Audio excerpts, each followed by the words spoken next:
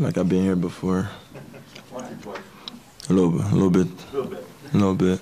Peter Hicks goes. Go ahead, everybody.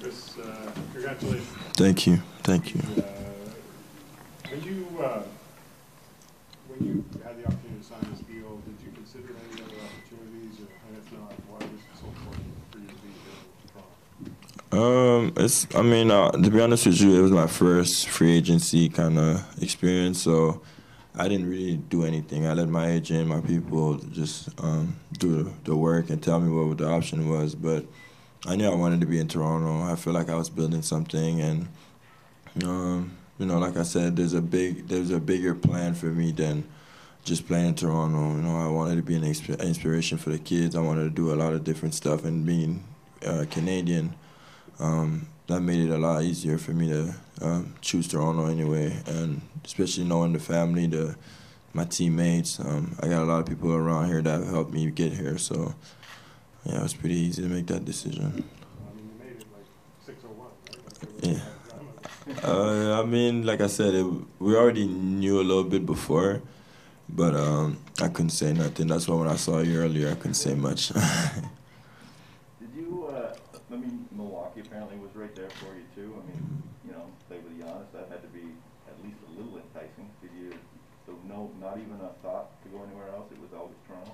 Um, I mean, no, because I feel like Masai Bobby did a good job just showing me that they wanted me to stay here and um, kind of show me my role. And um, it's all the things that I really wanted to do. So um, it's not like I was looking for to be somewhere else or be somebody else. Um, you know, going to another team sometimes you still got to prove yourself. You still got to do a lot of different things that probably are not what you want to do. So I think in Toronto, I knew exactly what I wanted to be. Um, they let me, um, you know, inspire kids, let me um, get build my own image and be myself, and that's something that you always want to be able to do. Was it a little flattering through the process though? I mean, I saw the piece in the Ringer and they called you a steal of free agency and then all those other sites that, or all those other teams that were maybe calling.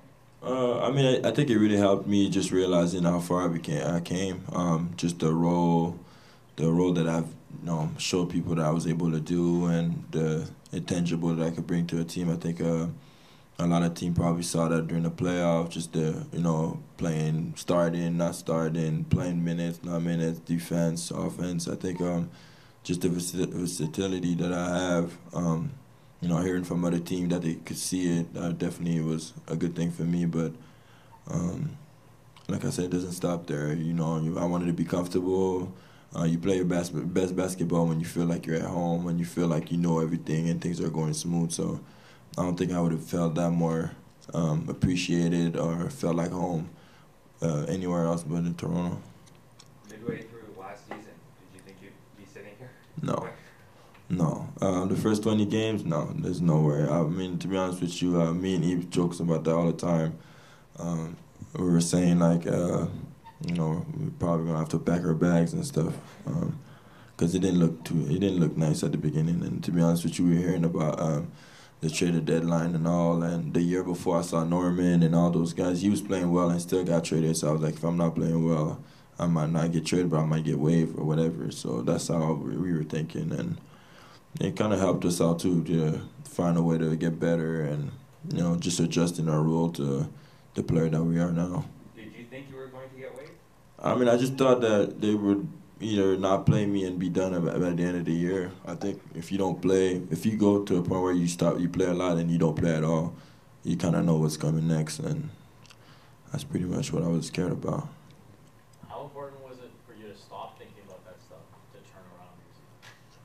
Um, I mean, it it was it was hard at first because it's a lot of ego, a lot of pride that you put down. Um, that's just that I had so much. Like I said, I saw myself as as just such a player, and um, I had to learn that um, I'm better at other stuff, and those things you know I haven't focused on them before. So it was just kind of changing your focus, and I think that really helped me with the people that I have around me. Um, did a really good job showing me in film and show what I was capable of doing, making me watch other people, and um, just to see that there was so many ways to be impactful and have a great career in the NBA. I think that really helped me out. Um, not everybody's a scorer. Not everybody could do what Kevin Durant do or whatever Kyrie do. So, um, you know, that really helped me out.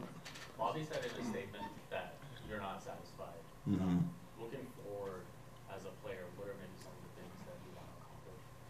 I just want to be a more complete player. Like I said, I think I, the more years, the more experience I get, the more talent that I figure. Like I said, I, am playing basketball, but um, not as long as everybody. So there's so much stuff that I could learn about the game, uh, so much techniques and stuff, footwork that I could get better at. That um, those are the little things we're trying to focus on. Obviously, um, you know, we did get better, but I do feel like there's another level, and every year I think that I'm taking another step and another step. So uh, hopefully we can do that the same thing this year, and it doesn't take 20 games for that.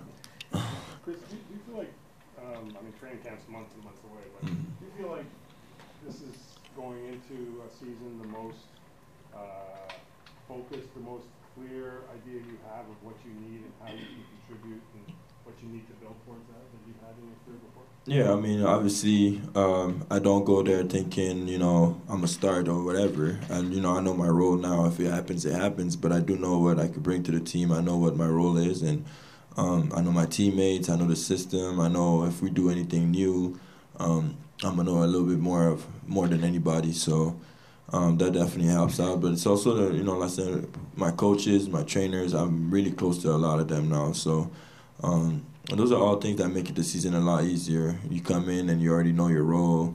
Um, that's gonna help me out for sure. And like I said, basketball is a lot with confidence and being comfortable, and I think that's gonna help me a lot. Chris, what can you say about just the city of Toronto as a whole? I saw that you know you addressed some comments from a, another media member earlier in the week. Uh, what can you expand on what the city of Toronto means to you? I guess.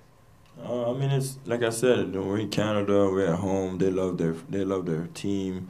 Um, like I said, the city is doing everything for anybody that brings anything for the city. Anybody that plays that represent Toronto does a lot of things for that. And um, the resource, the fan, so many stuff that I could do. Like I said, I'm thinking about um, like expansion. That's when I say that it's like make young kids think that it's really it's possible to make it to the NBA and all that. And I think I have a great platform here to do that. And I think Toronto gave me that platform. I didn't have it nowhere else. So um, when I st- when you start looking at that from where I started and where I am now, um, the city did a lot for me. So um, it's just like I said, you I can't put one word to describe what Toronto did for me, but I know they did a lot, and that's one thing I'm grateful about, and hopefully I can keep doing that because, like I said, um, it's just the beginning, really.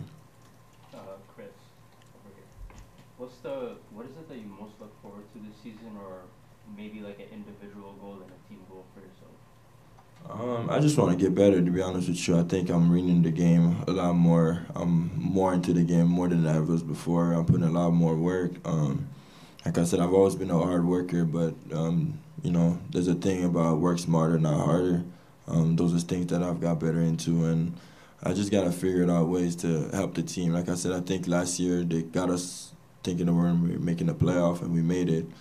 Um, that's the next push. What's the next push for us? Is trying to get to the finals, trying to win a championship, and um, the single accolades. I used to chase them, but at this point, um, I know where I am in my career. I know what kind of player I am, and um, those won't come if they if they if they're gonna come. But the rest of it, you know, it's the team sport. I gotta figure out a way to help this team get to the point. And if we all win, everybody wins. Everybody gets rookie of the year, like Scottie last year. Um, you know, us making the playoff, that was all great achievement that, you know, it's not singled out. It's the whole team that made it. How hard is that for young players to realize that some of the things that you just talked about, and even the things you learned last year about not every, not everyone's going to be a star, but you have to learn to accept a role that fits you. Um, I think the NBA does a really good job showing it by himself. You know, like when you're young player, you think you know everything's gonna be easy and you're just gonna come here and. But there's guys here that have been here for a long time. There's people that are hungry that are coming for you too, and it's not gonna be as easy as you think. You know, sometimes you don't understand the schemes. You're not a good defender. All those things are gonna come eventually, and it's gonna hit you. So, um, for a young guy, if if not an advice I would say is to stay with it, but also know that um, you know, you don't have to be a superstar to be successful in the league. You could do a lot of different stuff. You could be a superstar in defense. You could be a superstar rebounder. You could do a lot of stuff that will make you get paid first of all, but also make you recognized in the league and you know push your career to places where you never thought it would go. Go on, Flash, tu vas faire. Chris, félicitations pour la Merci. prolongation de contrat. Est-ce qu'à 29 ans, c'est le plus en paix que tu as été dans ta carrière de basketteur jusqu'à présent? Ah, c'est clair. Ouais, je pense que ben, j'ai eu un peu de paix euh, il y a deux ans quand j'ai signé le premier contrat, mais je pense que maintenant, euh, c'est juste plus. euh, je sais que, à quoi m'attendre. Il n'y a pas beaucoup de, de surprises. Il y a beaucoup de choses que j'ai appris que maintenant, si ça revient, je sais déjà quoi faire. Puis aussi le fait, comme j'ai dit, on essaie de, de, de faire des affaires géantes en ce moment. On essaie de- d'atteindre un, un, un but où est-ce que ah, on, on peut faire une légende pour nous. Puis je pense que la meilleure chose à faire pour moi, c'est de rester focus sur les bonnes choses. Mais avec tout ce que Toronto m'a donné, c'est dur de ne pas pouvoir faire ça puis pas être euh, en paix dans ma tête.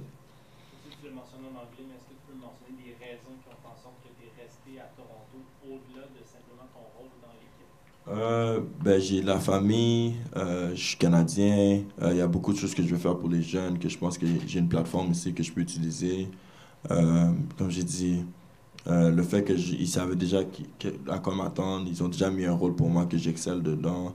C'était beaucoup plus facile pour moi de faire une décision qu'aller quelque part d'autre et essayer de trouver une façon de, de changer ou de changer qui je suis. Puis le rôle que je suis, comme j'ai dit, c'est pas toutes les équipes qui ont besoin de ça, mais Toronto, ils ont- ils m'ont mis dans une position parce que c'est ça qu'ils ont besoin. Puis c'était facile pour moi de revenir ici pour ça. Et euh, dernièrement, je pense que tu as été le Québécois le mieux payé de l'histoire de la NBA pendant environ 15 minutes jusqu'à temps que Lou euh, te dépasse. Mais Ben repêché sixième, Quincy ce matin au Global Jam. Il nous parlait des succès des Montréalais. Encore Ouais. une fois, on a un autre exemple là, que ça progresse encore plus. Ah, comme j'ai dit, euh, je l'ai dit ça depuis le début. Depuis que je suis arrivé dans la NBA, c'est ça que je dis, qu'on a du talent au Québec, c'est juste qu'on ne se fait pas le voir assez. Euh, mais c'est bien de voir que maintenant, comme j'ai dit, après moi, Lou, Cam, euh, Ben maintenant, je pense que le monde voit qu'au Québec, on a du talent. Puis, fil, ça va aider le monde à aller au Québec, puis aller voir le talent, les, les, le faire aller aux États-Unis s'il faut pour qu'ils aient l'expansion. Puis, euh, comme j'ai dit, nous, ça c'est un début pourquoi je suis venu à Toronto, c'est que j'essaie de faire grandir cette vision-là. Puis je pense que Toronto me donne une bonne image pour moi pour que je fasse ça pour les jeunes. Parce que, comme j'ai dit, euh, je suis juste un exemple de plein de talents qu'on a au Québec. Chris, you mentioned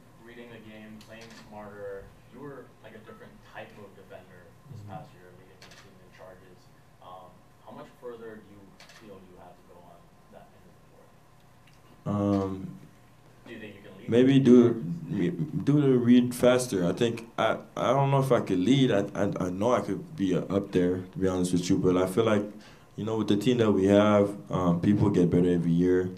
Um, I do think people are gonna take a lot of charge more now because I think that's just a read thing. I just want to be be able to make it faster than them, and that's the one thing I work on is how fast can I get to that spot. How fast can I know what that person, the next person is gonna do? What is if he goes left, okay, when is he jumping so I could be there? Or if he goes right, what kind of shot is he taking? Those are the stuff that I trying to get better at because like I said, the game has so many places where you could actually be successful and be great at that I'm trying to find all those little places to make my game better. And that's what made me better for the playoffs, that made me play better for the end of the season is that I start doing stuff that, you know, people don't want to do. And I'm trying to push it to another limit. What other stuff that people don't want to do that I could do? And being an important part of the bench, would you make of Otto Porter joining the team? Oh, that's great. I saw him a shooter. Obviously, he was at Golden State, so um, like I said, it's gonna add up a lot of depth for us. And also, like I said, he's been in the league for a long time too, so um, he's gonna bring some experience. He seems to be excited to be here. I haven't met him yet, but um, I saw his interview and all, and uh, it seems like he's gonna bring a lot of chemistry and a lot of you know happiness like that did. And you know, in Toronto, there's guys like that that we need. Um, guys that want to help, that want to teach that have experience and are ready to ready to work hard. Chris, uh, just uh, you talk a bit about your relationship with Nick Nurse and sort of how his uh, coaching helped your development over the past year and your whole time with the Raptors. Yeah, um, I think um, one thing Nick Nurse realized about me is that uh, you know I perform a lot better when um, you know somebody's hard on me, and sometimes some way I get comfortable, and when I get comfortable, that's when it gets shaky. But I think somehow, some way, he always knew when to, you know, like you know telling me like, okay, Chris, you know you're messing up. You know you guys saw it. And, um, usually it makes me play the best game after. So um, that helped me through the years. Where at a point where I was like, well, honestly, I don't really want that to be the reason why I have to play well. So. Um, yeah, like I said, he helped me with that, and like I said, those conversations that I have with him are a lot smoother than it was before, just because now I know where he's coming from, and um, like I said, he wants to win. He has so many ways of coaching and all that, but um, I had to figure out what made me help, what what helped me, and clearly he knew that before me, and that helped us out.